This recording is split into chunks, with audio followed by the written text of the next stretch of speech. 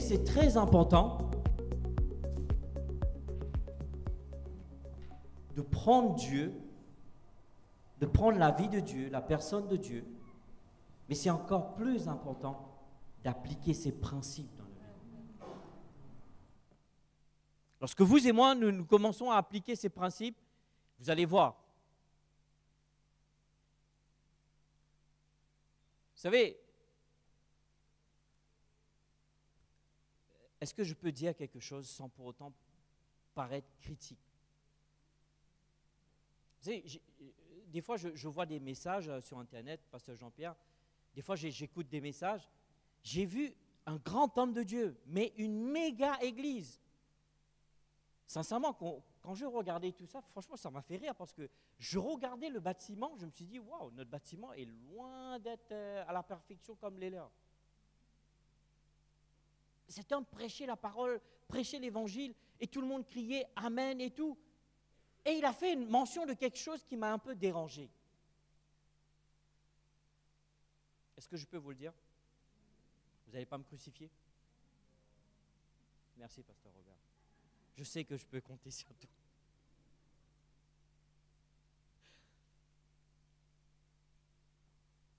Il disait, l'heure arrive, nous devons arrêter de parler de l'argent dans l'Église, parce que lorsqu'il y a eu les réveils, l'argent n'est pas mentionné. Je dis, mais quelle Bible que tu lis au fait? Non, non, non, sérieusement. Je me dis comment un orateur peut oser se mettre devant une congrégation, parler de quelque chose, alors pourquoi tu es habillé en marque? Alors pourquoi il y a une urne à la fin de ton église que tu prends des offrandes? Alors pourquoi tu prends un salaire? Allô? Parce que de toutes les manières, quand on en parle de réveil, pas besoin d'argent.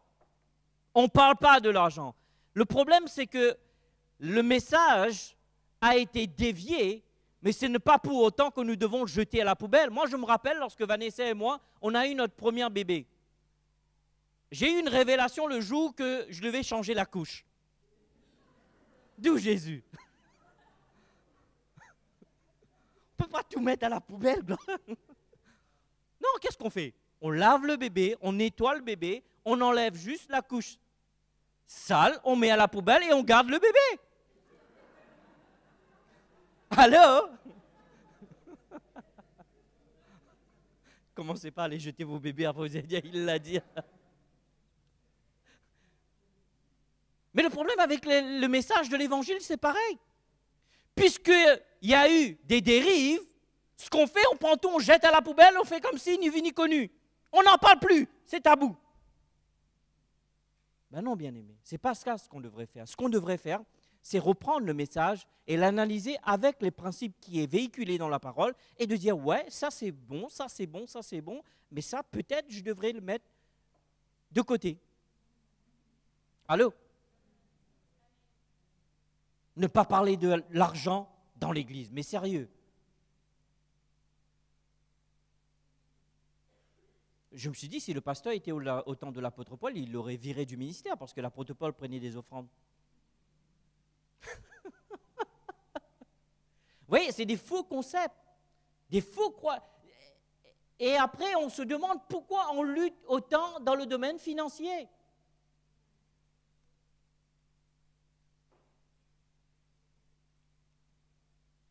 Je vais juste vous donner quelques stats que j'ai regardées rapidement dans la Bible. Sur 38 paraboles qu'il y a dans la parole, il y en a 16 qui font allusion aux affaires et de l'argent. Ce qui me fait comprendre qu'il y a un pourcentage de 42,11%. C'est presque 50%, mais c'est pas. Mais c'est quand même 42,11% qui parlent de l'argent. Alors comment est-ce qu'on peut ne pas parler de l'argent? Tandis que Jésus lui-même, il en a parlé. C'est surprenant, n'est-ce pas? Dans le Nouveau Testament, nous avons à peu près 500 versets qui parlent au sujet de la prière. Au moins 500 qui parle au sujet de la foi. Vous savez quoi, ce que j'ai vu? Est ce que j'ai vu Au-delà de 2000 qui parlent dans les, des affaires, de l'argent et de leur gestion. Vous vous rendez compte? On ne parle pas de l'argent.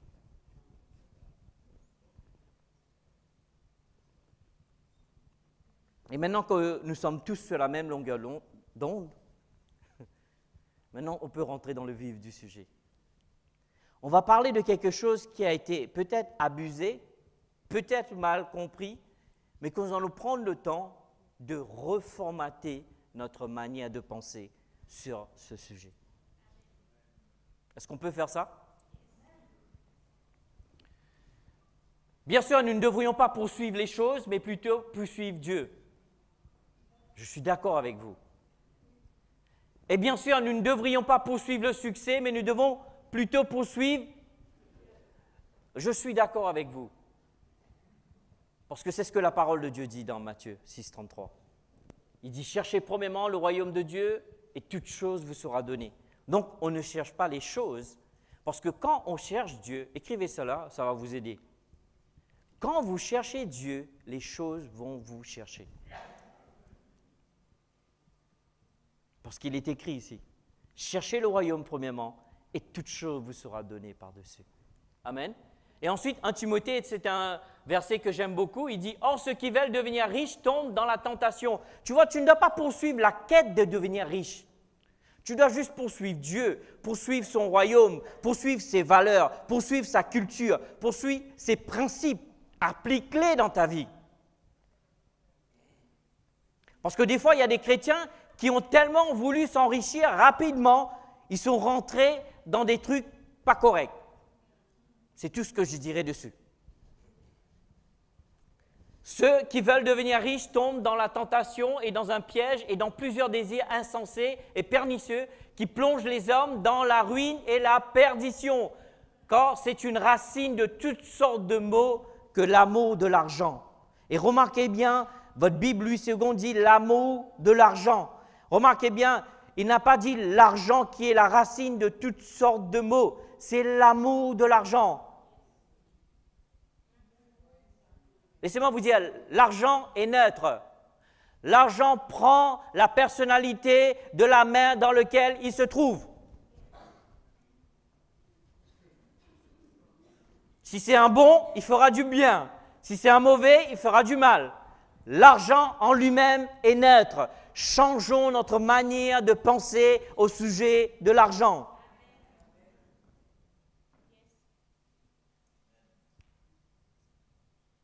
Nous devons commencer à allier nos pensées d'une manière saine. Et dire oui, je ne vais pas méditer sur le succès, je ne veux pas méditer, mais néanmoins, je veux me renseigner.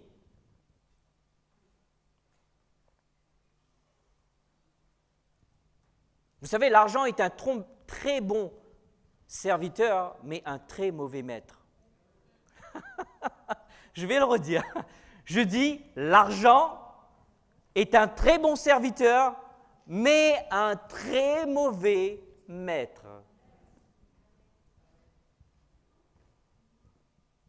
Et c'est pour cela, vous et moi, nous devons apprendre comment faire, gloire à Dieu. Rien dit, je vais apprendre.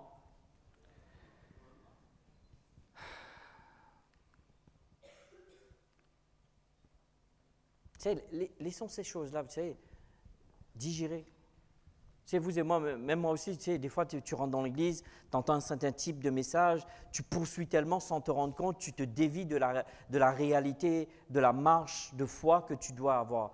Et j'ai remarqué, j'ai lu des hommes dans l'Ancien Testament, même dans le Nouveau, j'ai remarqué, il dit, Joseph, Dieu était avec lui, c'est ce qui fait en sorte qu'il réussissait. Donc, ce qui veut dire que je dois me rassurer juste que Dieu soit avec moi pour que je réussisse. Lorsque quelqu'un se rassure que Dieu est avec lui, ou elle, euh, vous savez ce qui se passe, c'est que cette personne est en train d'appliquer les principes sur lesquels Dieu dit de vivre ta vie. Et cela s'applique à tous les aspects de notre vie. J'ai compris que si je veux réussir dans ma vie, je dois prendre les principes de Dieu et les appliquer dans chaque aspect de ma vie. Et ce n'est que là que nous allons voir notre vie progresser, évoluer et aller de l'avant et aller dans le sens que Dieu veut.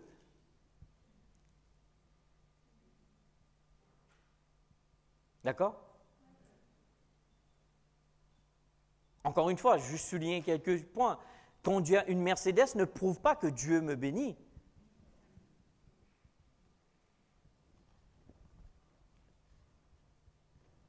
Vivre dans un château ne, ne, ne, prouve pas. Mais néanmoins, ne prenons pas tout le message et tout jeter à la poubelle. Apprenons à faire la différence.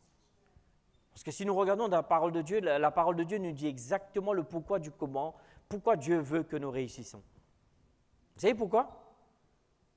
Dieu n'aime pas vous faire des misères. Oh, tu sais, Dieu est en train de me tester parce qu'il il veut que je n'ai pas d'argent. Va travailler, tu en auras.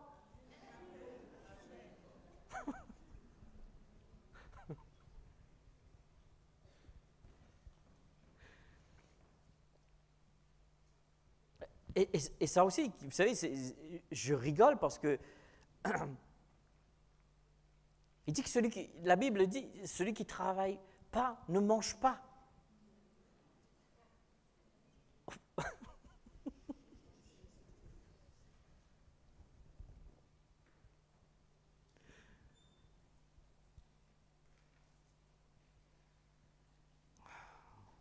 Vous allez toujours m'aimer jusqu'à la fin? J'espère. Gloire à Dieu. Euh, les gars, ça marche plus? Merci. Nous allons parler sur la loi de la semence. Quelqu'un dit la loi de la semence. Nous allons regarder un verset qui se trouve dans Genèse 8, 22.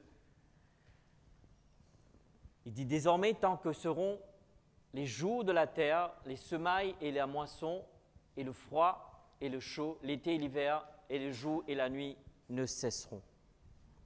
J'aimerais juste réitérer ce que Pasteur Robert a dit la dernière fois lorsqu'il a commencé son message. Il a dit, vous allez voir que c'est une fois des, manières que Dieu a agi, Dieu a, contracté, on va dire, un contrat ou une alliance, si vous voulez bien, le mot biblique, avec un homme ou sinon avec un peuple, il a établi des paramètres. Et si tu rentres dans ces paramètres, si tu appliques ces paramètres-là, ce qui va se passer, la provision sera là. Vous vous rappelez? Mais par contre, ce verset-là, j'étais en train de me dire dans quels paramètres cela rentre. Ce verset. ce verset. ce verset donne quelque chose de très important. Voilà ce qu'il est dit. Tant votre Bible, lui, second, dit tant que la terre subsistera. Ce qui veut dire que tant qu'il y aura la terre, ces choses-là ne vont pas changer. Une des choses que je comprends sur ce verset, c'est que ce, verset n'est pas limité, ce qui est dit dans ce verset n'est pas limité sur une dispensation. Deuxième chose que je comprends dans ce verset, ce verset n'est pas réservé qu'un peuple. Oh mon Dieu, mon Dieu. Troisième chose que j'apprends, que ce verset n'est pas limité à votre nationalité, à votre QI, ou sinon la couleur de votre peau. Ce verset est tout simplement applicable celui ou celle qui l'adopte dans sa vie.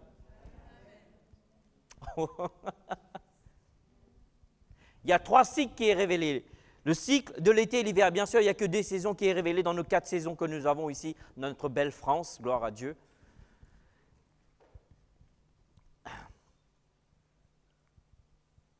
Il y a aussi la nuit et le jour, mais il dit autre chose. Il dit la semence et la récolte.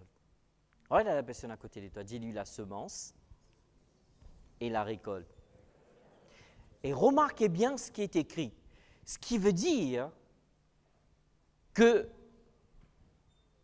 dès qu'il y a une semence, il y a la possibilité d'avoir une récolte. Le potentiel est là. Juste la semence, j'ai pas eu le temps, je voulais prendre une graine pour vous montrer cela. En tout cas, faites comme si il y a une graine de pomme entre mes deux doigts, gloire à Dieu. ok? Écoute, cette graine a le potentiel de produire. Mais celle-ci ne pourra jamais produire tant que je ne la plante pas. Je pourrais le mettre sur ma table, je pourrais le mettre sous mon oreiller. Allô? Je pourrais le mettre même dans mon salon, je pourrais même l'encadrer. Bien que cette graine a le potentiel et le pouvoir de produire une récolte, celle-ci ne pourra pas produire parce qu'elle n'a pas été... Dis, dis, dis, dis, dis. Parce que celle-ci n'a pas été... Non, euh, euh, on va faire comme si on est à l'école, d'accord? Je vais voir groupe 1, groupe 2, groupe 3. Je vais voir qui va gagner, gloire à Dieu. Celle-ci ne pourra pas ramener une récolte si elle n'est pas Gloire à Dieu. Un point pour tout. Gloire à Dieu.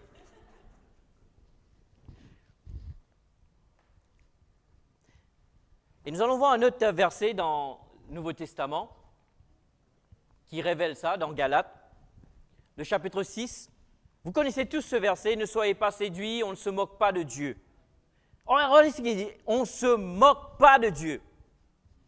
Et tu sais, ce verset, la plupart d'entre nous, chrétiens, on croit que Dieu parle du karma ici. Fais attention à ce que tu fais. Ce n'est pas faux en soi, mais ce que ce verset révèle, il est en train de révéler un principe qui opère dans le royaume. Il est en train de révéler la clé pour toi et moi, pour que notre vie puisse avancer, progresser et évoluer. Il dit on ne se moque pas de Dieu. Quand ce qu'un homme aura semé, et aussi il le moissonnera. Quand celui qui sème pour sa propre chair moissonnera de la chair, la corruption, mais celui qui sème pour l'esprit moissonnera de l'esprit la vie. Et ça, on a compris ça.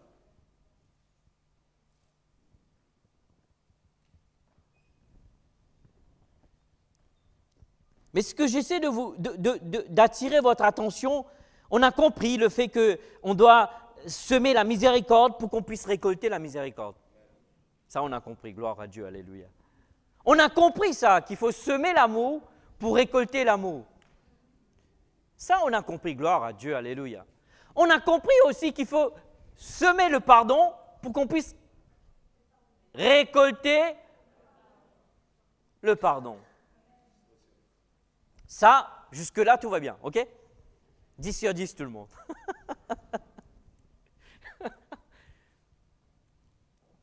Mais qu'en est-il de notre portefeuille?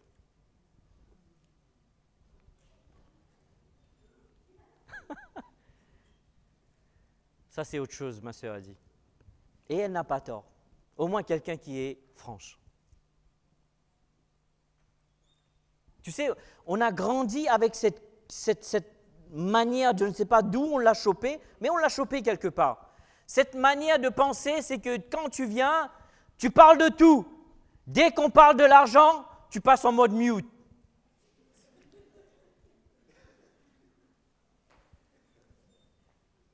Hein, qu'est-ce qu'il dit? Hein? Je ne sais pas pourquoi.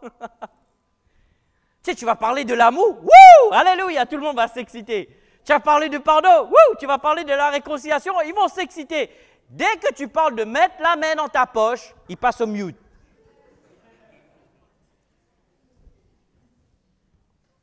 Est-ce que vous vous rendez compte à quel point que l'ennemi est en train de vous piéger et de vous empêcher de rentrer dans ce que Dieu veut que vous fassiez? Maintenant, écoutez-moi bien. Juste parce que quelqu'un vous a abusé dans le passé, cela ne nullifie pas les principes de Dieu. Juste parce que vous avez une mauvaise expérience dans, une église et dans un ministère, cela ne change en aucun cas le principe que Dieu lui-même a établi. Tu vois, si toi et moi on aurait écrit la Bible, il dit le juge vivra par son expérience.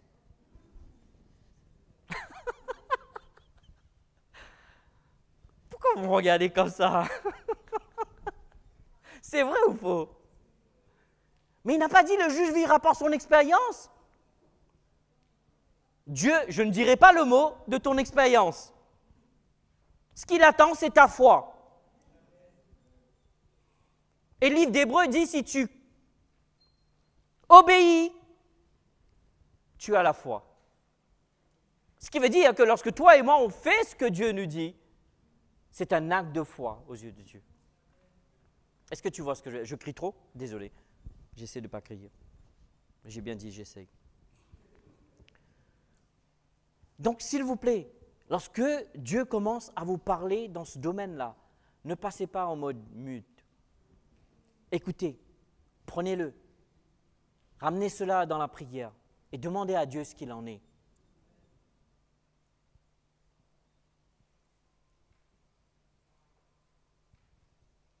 Ah, moi, tu sais, euh, je, ne comprends pas comment les gens peuvent oser voir un pasteur mettre un, billet de sang dans ses mains. Tu sais, j'ai découvert une chose, je disais cela à pasteur Jean-Pierre. Vous savez, quand, je me rappelle, quand je venais de rencontrer Dieu, tout ce que Dieu me disait, oui, Amen. Jusqu'à l'expérience rentre, tu vois, après, lorsque Dieu dit, mais, mais attends, tu, tu dis ça, mais c'est bien gentil tout ça, mais toi, tu sais, c'est moi qui vis en bas, toi, tu es là-haut, tu es dans ton trône, tu es bien gentil, toi. Comment d'entre vous savez de quoi je parle? On commence à négocier avec Dieu. Au lieu de prendre Dieu au mot et de faire ce que Dieu nous demande.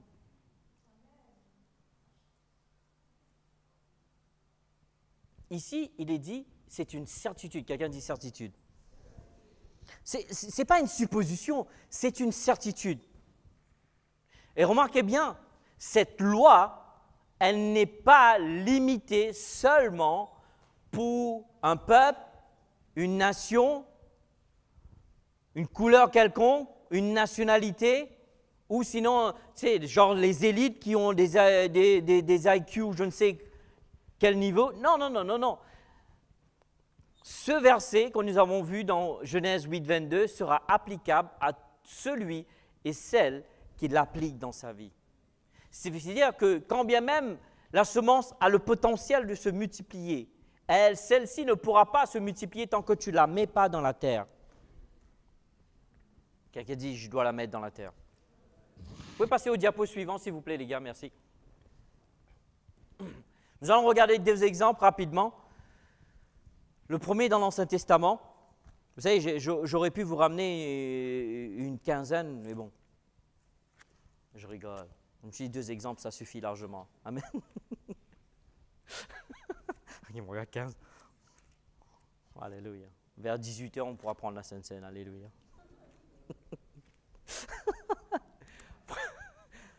et, je suis content parce que je n'ai pas besoin de dire beaucoup sur ce, cette partie de 1 roi 17 parce que le pasteur Jean-Pierre a prêché dessus, le pasteur Robert a, a, prêché dessus. Donc moi, ce que je vais faire, je vais juste rajouter un plus, un petit plus. Quelqu'un dit un petit plus.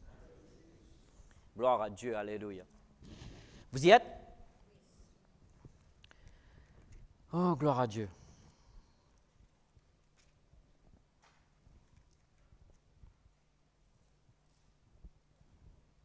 Écoutez-moi bien. Écoutez-moi bien ce que je vous dire.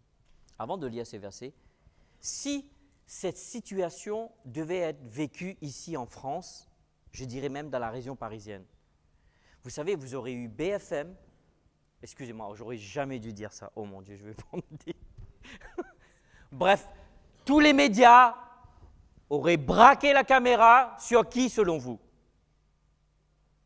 Non, sur le prophète.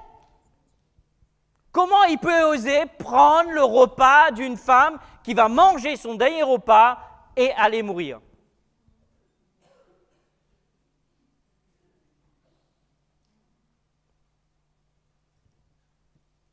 Tu vois, il n'y a pas de logique dans ce qu'on va lire. Certainement, il n'y a pas de logique, mais il y a un principe. Quelqu'un dit il y a un principe. Il dit alors la parole de l'Éternel, verset 8, lui fit adresser en ces mots Lève-toi, va à Sarepta qui, qui appartient à Sidon et demeure-y, et voici, j'ai ordonné à une veuve de te nourrir. Remarquez bien, Dieu avait ordonné. D'accord? Il se leva, le verset 10, et alla à Sarepta. Comme il arrivait à l'entrée de la ville, voici, il y avait la femme veuve qui ramassait du bois, et il l'appela et dit Va me chercher, je te prie, un peu d'eau dans un vase afin que je boive. Cette femme vit une situation très dure, très difficile. D'accord? Il faut peut-être euh, faire une cagnotte pour elle sur Facebook pour faire en sorte de l'aider. Allô? C'est ce qui est écrit. Regarde ce qui est écrit. Le prophète, premièrement, lui demande de l'eau. Et ensuite, le verset 11, et elle s'en alla chercher. Il l'appela de nouveau, il dit, apporte-moi, je te prie, un morceau de pain dans ta main. Et là, ça devient intéressant, le verset 12. Et elle répondit, l'Éternel, ton Dieu est vivant. Je n'ai rien de cuit. Je n'ai qu'une poignée de farine dans un pot et un peu d'huile dans une cruche. Et voici, je ramasse deux morceaux de bois, puis je rentrerai et je préparerai cela pour moi et pour mon fils. Nous mangerons, après quoi nous mourrons. Attends, attends, attends. Quand tu manges, tu ne meurs pas. Tu manges, tu as la force. Non, ce qui veut dire que, cette femme essaie de résumer, c'est qu'elle est en train de manger son dernier repas. Ce qui veut dire qu'après tout, tout est vide. Placard vide, les ustensiles vides, les assiettes, merci ma soeur, vides, le grenier vide, la buanderie vide. Parce que des fois, dans la buanderie, tu vois, on met, on met des trucs. Après, on oublie, après, on met de l'or. Ah, j'avais oublié, tiens, t'es là, toi. Ça vous est arrivé? Non, la maison était vide. C'était le dernier repas qu'ils allaient manger. Comment ose-t-il ce prophète lui demander? Comment? Hmm. Le verset 13, Élie lui dit, ne crains point, rentre, fais comme tu as dit, seulement. Quelqu'un dit seulement. Remarquez bien, le prophète ne lui a pas dit que tu ne dois pas manger, tu dois me donner ton repas. comme, comme il y avait un dicton des années 90 qui se disait, tout ce que les prédicateurs veulent, c'est votre poulet. Parce que les gens croyaient que les, parce que, encore une fois, il y a eu des abus dans ce domaine-là, ils croyaient que les hommes et les femmes de Dieu voulaient dépouiller le peuple. Mais ici, Dieu était en train d'apprendre à cette femme comment appliquer un principe qui est établi dans le royaume? Quelqu'un dit un principe. Il dit, tu il dit, fais comme tu as dit, seulement prépare-moi d'abord cela, un petit gâteau, et tu me l'apporteras. Tu en feras ensuite pour toi et pour ton fils. Car ainsi par l'Éternel, le Dieu d'Israël, la farine qui est dans le pot ne manquera point. Waouh Et l'huile, quoi? Qui est dans la cruche ne diminuera point jusqu'au jour où l'Éternel fera tomber de la pluie sur la face du sol. Et elle est là, elle fit selon la parole d'Élie, et pendant longtemps elle eut de quoi manger, elle et sa famille aussi bien qu'Élie. Waouh Tu vois, là, là, là, là, quand même, ça change un peu la manière dont vous et moi, nous avons appris à grandir. Ici, il change tout, le concept change, la manière d'agir change, tout simplement parce qu'il y a un principe que vous et moi, parce que nous ne connaissons pas.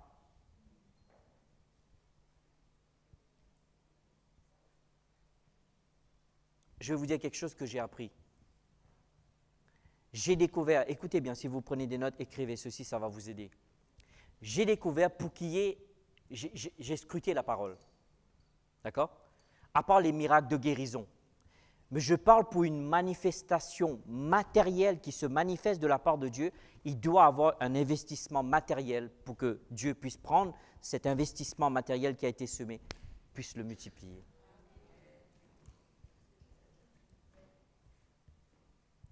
écoutez ce que je suis en train de vous dire. Tu vois, c'est pour ça que, que des fois, quand, quand, quand, tu, as du mal à payer ton loyer, trouve quelqu'un dans l'église qui a du mal et donne-lui juste 10 euros. Et laisse Dieu travailler avec ça. Excuse-moi, je donne le montant. C'est juste un exemple que je te donne. Moi, je me rappelle qu'il y avait un moment, vous savez, je venais d'arriver en France, je devais faire mes, mes démarches, tout ça, euh, après être établi ici. Dieu, ce qui me faisait rencontrer des gens qui avaient des, demandes à la préfecture.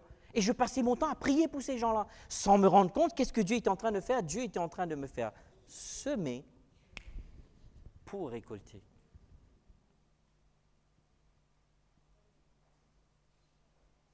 Alors n'attendez pas, je, vais le redire, n'attendez pas une manifestation d'un matériel quelconque de votre vie si vous n'avez pas pris le temps, premièrement, d'investir une semence matérielle, ou devrais-je dire physique, ou devrais-je dire visible, ou devrais-je dire touchable.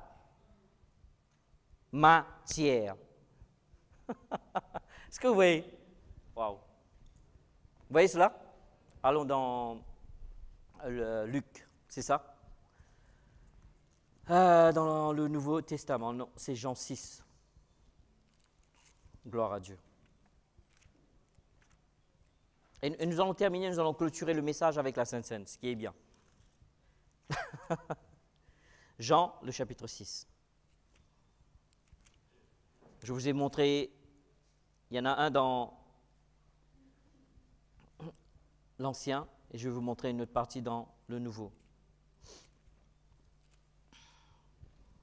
Gloire à Dieu. Écoute, euh, pour une question de temps, vous savez tous ce qui dit le verset 1. Après cela, Jésus s'en alla. Et vous savez tous que entre le verset chapitre 5, verset 47 de livre de Jean, entre le chapitre 6 du verset 1 de livre de Jean, il y a eu beaucoup de choses qui se sont produites. Alors Matthieu relate plus ces faits-là, mais il dit après cela, ce qui veut dire que beaucoup de choses sont passées. Mais en tout cas, ici, cette partie qu'on va lire, c'était la deuxième fois qu'il allait avoir une multiplication de pain. Et ce qui est intéressant dans tout ça, c'est qu'il a dû avoir le petit déjeuner d'un garçon qui allait être semé pour qu'il y ait eu des récoltes. Oh mon Dieu, mon Dieu. Il n'a pas pu avoir de récolte. Comment entre-vous que vous croyez que Dieu, Jésus était Dieu lui-même manifesté dans la chair? Vous le croyez? Mais pourquoi il a pris le petit déjeuner d'un garçon pour le multiplier? Parce qu'il voulait nous donner quelque chose de tangible. Il dit, j'ai un principe dans lequel vous et moi nous pouvons opérer, mais il ne peut pas être en opération si tu ne l'appliques pas.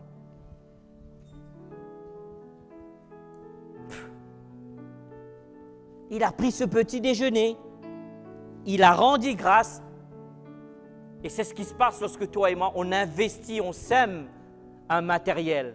Dieu le prend et rend grâce, et il retourne vers toi une récolte, gloire à Dieu. Alléluia. Tu, sais, eh, des fois, on, lit des versets, on ne voit pas ces choses-là. À chaque fois que vous lisez la parole de Dieu, pour avoir une manifestation de matériel physique, il devait avoir un investissement matériel et physique. Ce qui me fait comprendre qu'une récolte matérielle ne répondra pas à la prière. Ce qui me fait comprendre qu'une récolte matérielle ne répondra pas aux jeunes. Il répondra tout simplement à une semence matérielle. Je ne sais pas si vous voyez, je me suis dit, je suis passé à côté de cela combien de fois? Combien de fois? Je vais juste vous poser des questions, ne levez pas les mains mais vous allez répondre dans votre cœur. Combien de fois vous avez été dans des conférences, Dieu vous dit de donner 100 euros à cet homme? Vous dites, Seigneur, j'avais prévu de faire les courses. Euh, en plus, il y a la, facture de la crèche de Zoé qui est tombée, mais c'est comment au fait? Il y a toujours une bonne excuse. mais tu, tu sais quoi? J'ai découvert que des fois on peut être sincère, mais on peut être sincèrement incorrect. Je dis, on peut être sincère, mais être sincèrement incorrect. Comment entre vous, nous voulons voir la manifestation des finances de Dieu dans nos vies? Ok. C'est pas moi. C'est pas moi qui l'ai dit. Donc je sors de l'équation.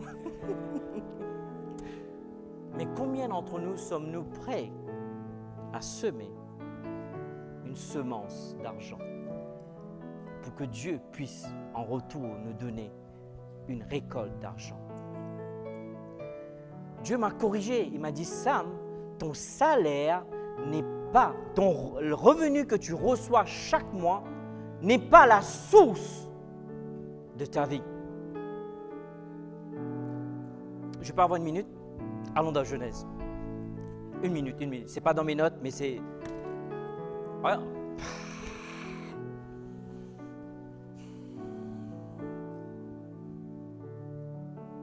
Écoutez-moi bien. Jetons ce qui est mauvais à la poubelle, mais prenons ce qui est bon. Et je vous ai montré deux fois dans la Bible, une fois dans l'Ancien et une fois dans le Nouveau, il n'a pas pu avoir de manifestation matérielle, physique, tant qu'il n'y a pas eu un investissement matériel et physique. Je vous laisser avec ça. Vous y êtes? Genèse 1.12. Les gars, excusez-moi, vous pouvez enlever mes notes. Euh, après, nous allons le remettre. Juste Genèse 1.12. Regardez ceci.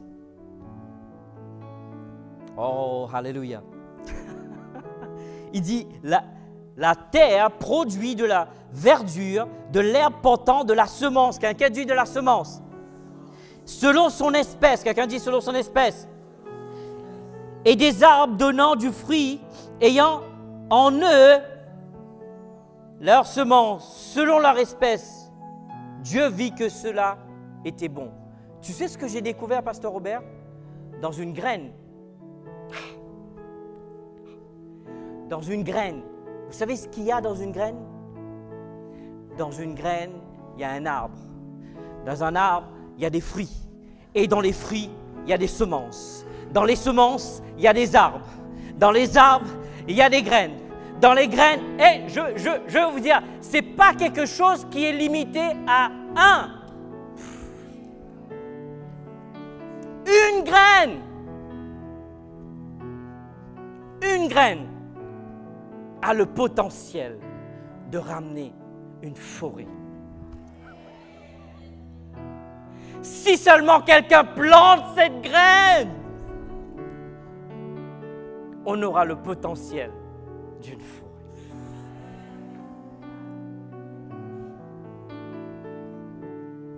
Une graine.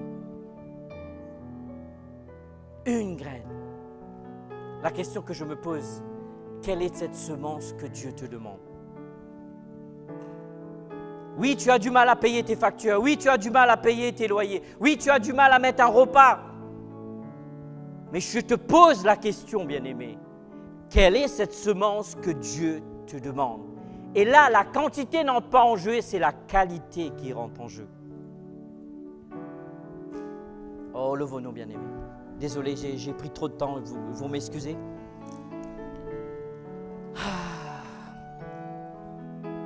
Nous allons nous préparer pour la table et nous avons évoqué plusieurs choses. J'aimerais qu'avant que tu prends le repas du Seigneur, tu laisses Dieu traiter cela. Si tu as la peur de donner, laisse Dieu traiter avec cette peur. Si tu as eu un abus dans le passé, laisse Dieu traiter. Si tu as eu une mauvaise expérience, laisse Dieu opérer miraculeusement sur tes souvenirs. Si tu as fait un choix délibéré de ne pas obéir, demande à Dieu un cœur obéissant. Comme dit l'auteur des psaumes, donne-moi un cœur bien disposé, une bonne volonté pour faire ta volonté. Alors, comme vous allez venir à la table, l'équipe de louange va entamer un chant et je vais vous demander, les équipiers vont être derrière la table si vous avez besoin de prier pour que Dieu agisse miraculeusement dans votre vie financière. C'est le moment de semer. N'attendez pas demain. Si Dieu vous dit de semer quelque chose maintenant, faites-le maintenant parce que Dieu est dans le now. Ce que j'aime bien avec Dieu, c'est Dieu est un Dieu de maintenant. Il n'y a pas de panier, il n'y a pas... Mais vous faites ce que Dieu vous demande. Et nous allons partager le repas du Seigneur. Quelle est la meilleure façon de rentrer devant le Seigneur et communier avec lui à la table du Seigneur et de dire Seigneur, je sais que j'ai laissé la peur régner dans le domaine financier. Je veux que tu me délivres de cette peur. Seigneur, je sais que j'ai eu de l'abus dans le passé. Je veux que tu enlèves cette amertume dans mon cœur. Seigneur, je sais que j'ai eu une mauvaise expérience, mais opère un miracle dans mes souvenirs. Peut-être tu as choisi délibérément, je ne vais pas donner mon argent. Dites Seigneur, je veux un cœur obéissant. Alors venons, partageons cela, faisons des petits groupes de deux ou trois et prions ensemble. Si vous avez besoin de prier, ces gens derrière la table sont là pour prier avec vous. Et encore une fois, désolé d'avoir pris autant de temps, mais il y avait tellement de choses à dire. S'il vous plaît, ne passez pas à côté de votre bénédiction. Parce qu'une graine a le potentiel de ramener.